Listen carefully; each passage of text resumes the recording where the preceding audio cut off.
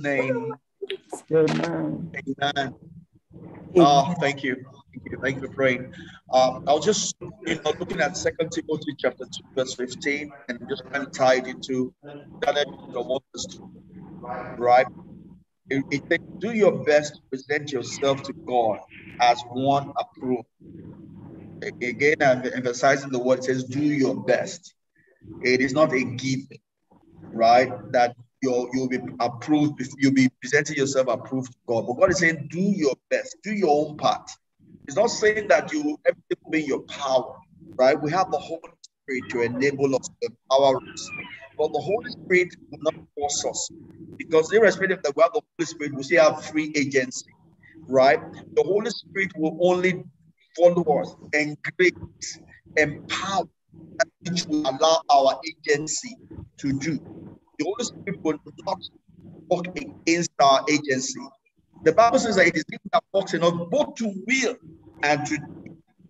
Both to will and to do. It will encourage your will, but will not enforce your will. It will never go against your will. Yes, it works not in terms of that is empowering our will, as it were, right?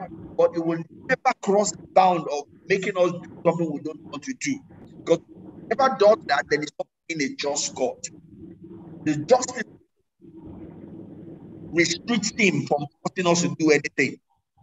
Because the basis of judgment is, is the fact that we have free agency. Once you take away free agency, there's no judgment.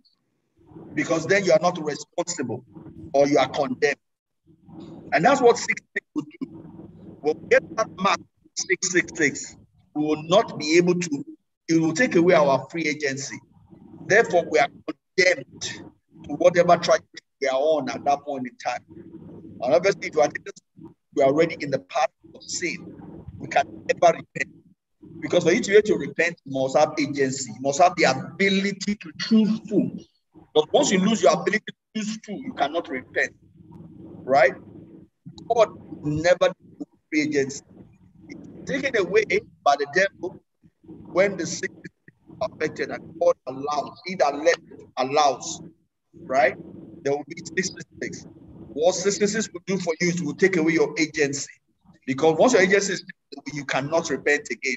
So the Bible says you are forever condemned at that point in time. But until then, we all have free agency, meaning we can make decisions. But as long as we are making decisions, we can change, we can get better. Right? God will never against your agency. Anything that goes against your agency is called witchcraft. It's called manipulation, right? And unfortunately, we have that on some of our today. They think they are doing the work of God manipulating people, but that they are doing the work of the devil, right? God will never manipulate you. God will never deceive you to do something against your will. He will always go to your will.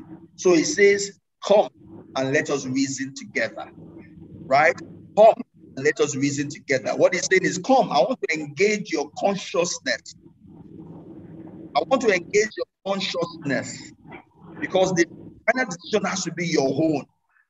That's the only way you can get to heaven or to hell. Right? Because your agency has to bear its mark right?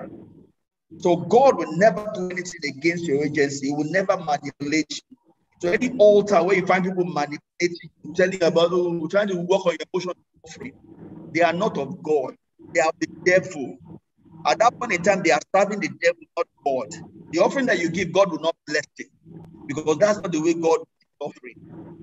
He says that his own offering must be a living sacrifice, meaning that it's one that you decide to give not because someone deceived you that don't give, you will get punishment. Don't give, you will not uh, be pro- uh, prosper. If you don't give, uh, your your salary will not be sweet. So the devil, those people are liars. They are working for the devil, not of God. God would never neglect your agency. It has to be your decision. That's what it means. A, sacrifice that you really do, not one that you can keep doing. Right? And, and that's what, Second Timothy 15 was is saying. Is we have to present ourselves right to God, one that is approved, a worker that does not need to be ashamed, correctly.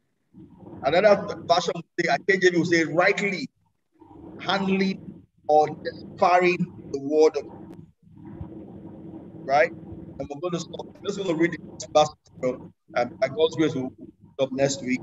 That part of scripture, and I'm we'll, we'll connection later on, but let me read First Thessalonians chapter 4, verse 9 and 10. It says, Now about your love for one another, we do not need to write to you, for you yourself have been by God to love each other. And in fact, you do love all of God's family throughout Macedonia. Yet, yet, the real scripture we're going to discuss is verse 11 and 12. This is introduction to it. It says, Yet, we urge you, brothers and sisters, to do more and more.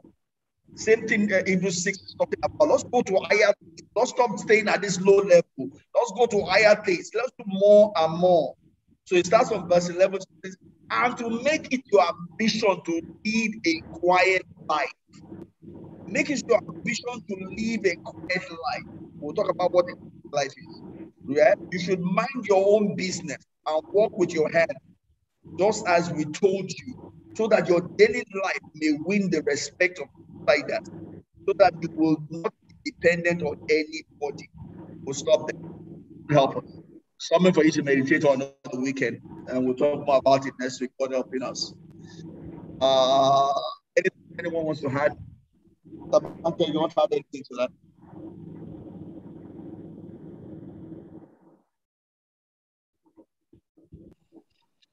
Pastor Shirley, anything you want to add to that?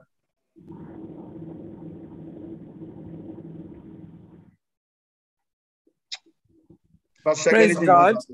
Yeah, Praise go ahead. God. Yes. Mine is more of testimony. Praise go ahead, living Jesus. Hallelujah. I have one of my colleague who was really one of our close associates. Even though she doesn't join, but anytime I work, she used to join with me. And I think I mentioned it to your hearing that time that somebody is requesting to join us she did was joining. And as at that time, she happened to be a waiting mother, a waiting yeah. woman. She and her husband waited enough. And uh, as at that time, she she's close to her 55. To the glory of God, the Lord has blessed the family with a bouncing baby girl. So Amen. it can only be God. I know she was waiting for something special with the Lord, and then every day she used to join. In fact, she would be the one to remind me that sister, ah, don't forget, 12 midday, 12 midday, 12 midday. I can tell you she's a nursing mother now. Uh, not in Shawalumi. So we give Amen. it back to God. Say thank you, Jesus. He answers prayers. He's brought joy, more joy into the family. And I believe the Lord who has done this will give them reason to continue to follow him in Jesus' name. Amen. Amen. Amen. Thank you, man. Thank you, man. We're, we're our heart because that's what God does. God is life. And that life, Jesus results in our life. Thank you. Thanks for letting us uh, our greetings to her. Many more blessings in Jesus. Amen. Amen. Pastor, anything before I close?